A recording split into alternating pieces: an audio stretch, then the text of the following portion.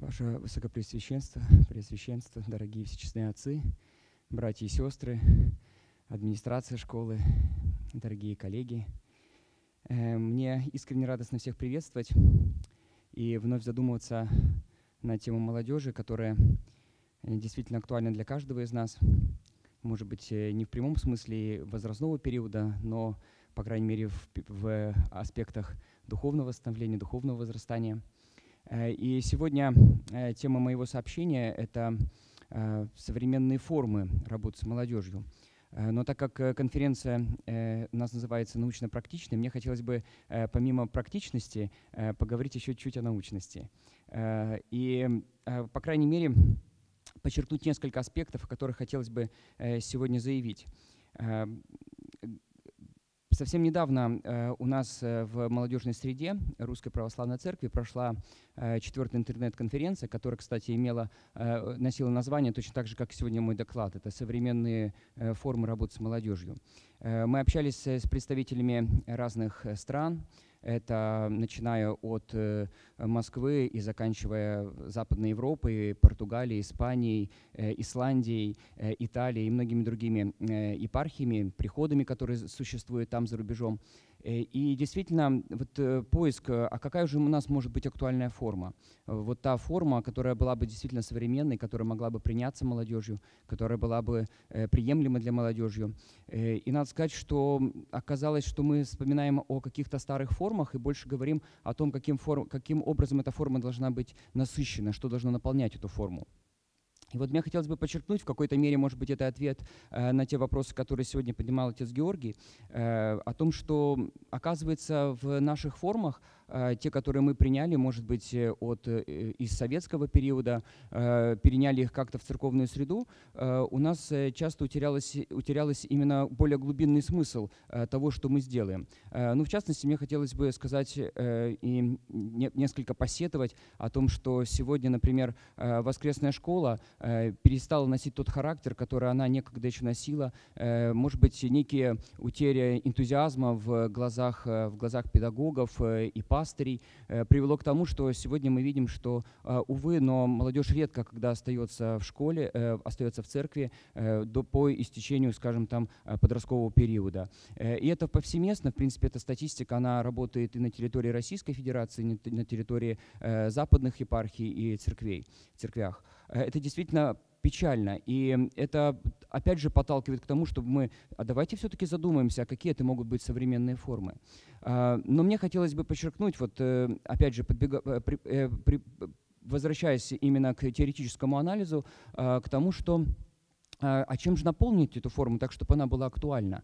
Э, и, конечно же, ответ очевиден, который мы знаем, это наполнить ее именно евангельской истиной. Э, но если мы ее наполняем просто евангельской информацией, э, то этого недостаточно. И особенно это недостаточно для молодого человека, так как молодой человек, э, он действительно э, очень четко это чувствует, и ему нужна, нужна не информация, ему нужна именно актуализация Священного Писания. Потому что информацию он может действительно получить а, одним кликом, как сегодня сказал нам вот представитель из городской власти. Это несложно. Несложно открыть сегодня любые строки и на любом языке. А, и несложно их перевести, а, а вот сложно их действительно принять сердцем.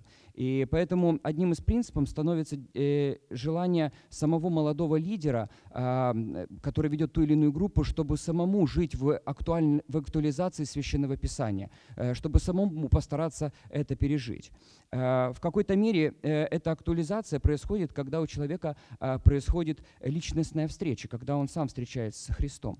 И знаете, вот для меня буквально вчера вечером было такое соприкосновения а, мы с ребятами э, разбирали э, в малой группе э, строки Священного Писания, которые мы будем читать в ближайшее воскресенье. Там, там рассказывается о начальнике синагоги Иаире, который приходит просить о том, чтобы исцелить ее дочку. И внедряется в это Писание эпизод, когда женщина приходит и касается риса Иисуса Христа. Иисус Христос останавливается и говорит, кто ко мне прикоснулся. Вот. И мы с ребятами разбираем, вот одна девушка, девочка говорит, «А, батюшка, знаете, вот мне кажется, что э, здесь важным э, эпизодом вот этого отрывка является то, что Иисус Христос остановился э, и обратил внимание на эту женщину. Я говорю, ну, ну не знаю, может быть. А как ты, как ты это чувствуешь? Ну, что, что ты в этом понимаешь? Он говорит, вот посмотрите, э, он почему-то в конце э, евангельского отрывка всех выгнал и исцелил эту дочку Иира, да, и никто не был свидетелем этого, да. А вот здесь женщина тайно прикоснулась, хранила какую-то любовь в сердце, и вот он все равно остановился сказал, кто же ко мне прикоснулся? Он захотел это увидеть. Я говорю, ну и что дальше? Он говорит, он хотел, чтобы между ним и этой женщиной произошла личная встреча. И когда я это слышал, то есть я вроде бы как бы сам задумывался над этими вопросами а, о личной встрече, моей личной встрече со Христом, а, но как-то в этом отрывке я этого не видел. И для меня действительно это стало настолько близко, настолько актуально. Да, наверное, именно этого. Хотя женщина этого очень боялась.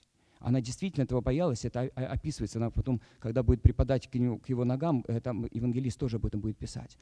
А, и я как один из принципов вот этого условия существования вообще вот э, э, молодежного движения, э, как второй принцип, по, помимо того, что э, актуальны строки Священного Писания, если они актуальны для меня, то я могу это передать и сделать их актуальными для другого человека. А второе – это личностная встреча.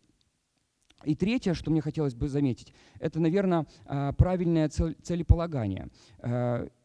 Увы, но, наверное, э, в современном, э, в современном контексте э, жизни церкви у нас вот это целеполагание, ориентир этот именно цели, куда-то иногда бывает накреняется, уходит в сторону, э, и мы не всегда, наверное, э, эту цель правильно для себя э, выставляем. В какой-то, в какой-то мере нас можно было бы описать как, как Марфу, которая заботится, чтобы принять Христа, хочет значит, накрыть обильный стол, все, а потом начинает сетовать на свою сестру Марию, говорить о том, что, ну вот, Господи, тебе что, нужды нет? Вот Мария меня оставила служить одну. И здесь в глазах Марфы кажется, ну ведь она делает то, что что нужно. Ведь мы тоже делаем, мы хотим, чтобы у нас были наполнены приходы, мы хотим, чтобы у нас, значит, э, там э, протекала жизнь и, значит, и молодежная, и социальная, и там тюремное служение, все, все, все, все, все. Мы вроде бы все это организуем, э, все выставляем в какой-то определенный, таким молодежным сленгом, тайм-менеджмент, да, распределяем все эти планы, а вот чего-то чего не работает. Цель-то какая-то, непонятно уже какая. То ли мы хотим действительно людей этих привести, чтобы у них произошла эта встреча со Христом, то ли мы уже начинаем э, думать просто о каких-то отчетах, э, поощрениях, может быть, может быть, еще каких-то вещах, которые, ну, вот как бы справился, ну и слава богу, теперь хоть меня не будут докучать что я ничего не делаю и как-то не будет меня обвинять. Поэтому вот это целеполагание, оно действительно очень важно. И важно, конечно же, чтобы мы Э, сохраняя сами цель, могли эту цель э, донести и э, до наших слушателей. Потому что если они будут чувствовать о том, что эта цель просто формальная, то для них тогда это не будет актуальными наши слова. Э, это та небольшая теоретическая часть, а теперь мне хотелось бы перейти э, к практической части, э, рассказать вам о том, о нескольких проектах, которые мы проводим в нашей Виленско-Литовской епархии, и показать вам некоторые фотографии, их потом описать. В целом, надо сказать, что у нас есть, мне хотелось бы рассказать не о всей деятельности, потому что, наверное, это заняло бы очень много времени, а, по крайней мере, выделить несколько проектов, э, а именно четыре проекта. Э, первый проект мы называем кратко ШМС, это школа молодежного служения. Идея создать этот проект у нас возникла а, из опыта сотрудничества с синодальным отделом по делам молодежи э, и одного из выступлений Святейшего Патриарха, который сказал о том, что вот хорошо бы, чтобы э, в епархиях готовились бы молодежные лидеры, они могли бы помочь священнослужителям, чтобы э, часть нагрузки вот этой организаторской именно ложилась на их плечи. И мы уже на протяжении шестого года проводим регулярно в нашей епархии школу молодежного служения. Это небольшое, небольшая встреча, которая занимает при порядка где-то от 3 до 7 дней. Э, обычно э, мы проводим это на базе одного из монастырей, который находится у нас в Вильнюсе.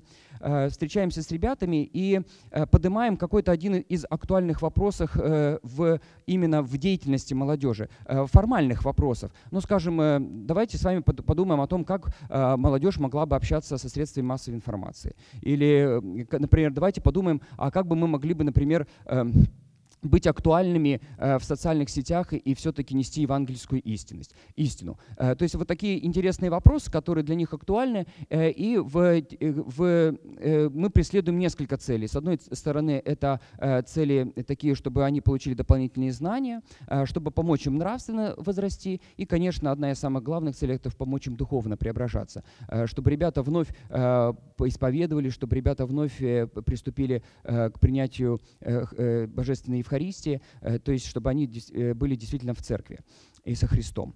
Эм, это э, некий такой элемент учения – Э, э, вторая, второй проект – это игра, которую мы называем «Ум за разум». Это светская, светская модель игры, значит, и это построено больше на том, чтобы ребята могли с пользой проводить свой досуг. То есть это действительно такая светская площадка. А обычно для этого используются какие-то большие рестораны города, которые идут нам навстречу, так как этой игре мы приводим очень много, большое количество клиентов. То есть порядка, например, 100 человек э, за один вечер смогут посетить вот только э, буквально за там, э, два с половиной часа, пока будет проходить эта игра на площадке, площадке ресторана. Э, ребята, э, молодежные лидеры готовят э, ряд вопросов, порядка это 10 раундов, вопросы могут быть очень разные, но чаще всего они нацелены именно на такую эрудицию, на логическое мышление и из разных сфер, потому что кто-то, может быть, лучше ориентируется в современной музыке, кто-то лучше ориентируется в современных фильмах, кто-то лучше ориентируется в художественной литературе, но в целом концепция этих всех вопросов, она подается именно как как, э, как нравственная позиция. А, и что еще очень хорошо, что, э, конечно, такая площадка, так как это организуется именно нашей молодежью, э, позволяет, чтобы на этой площадке присутствовали священнослужители. То есть это не просто какое-то светское мероприятие, да, а это действительно церковное событие. Вот. Когда приходят ребята, причем часто и светские ребята, и священнослужитель в перерывах между турами может сказать и именно вот об этой евангельской истине, заявить. Э, третий э, формат – это э, школа волонтеров. На данный момент в нашей епархии эта школа проходит уже второй год, второй набор. И надо сказать, что это нас очень приятно удивило, потому что в прошлом году, когда, ну еще в позапрошлом году, когда мы подавали на конкурс «Православная инициатива», я частично скептично смотрел на том, что у нас, наверное, этот проект не очень получится. Вот, как-то говорил, ребята, ну неужели кто-то пойдет в волонтерство, кто-то будет какой-то вот свое свободное время тратить. По-моему, у нас ребята все такие заняты. Если они уж нормальные, то значит они посещают, по крайней мере, как минимум 10 кружков. Вот. А если они такие какие-то уже, ну, в кавычках скажу, ненормальные, да, то, как правило, от них мало что, что возьмешь, как, э, как с козла молока, как говорят, да. Вот. Э, и был приятно удивлен. Был приятно удивлен тем, что э, мы объявили набор, э, э поместили э, объявление э, значит, в Фейсбуке э, по школам города, и у нас набралось э, порядка 50 человек, которые пришли с намерением о том, что да, мы хотим, мы хотим быть добровольцами, мы хотим быть волонтерами, научите нас этому, мы хотим помогать.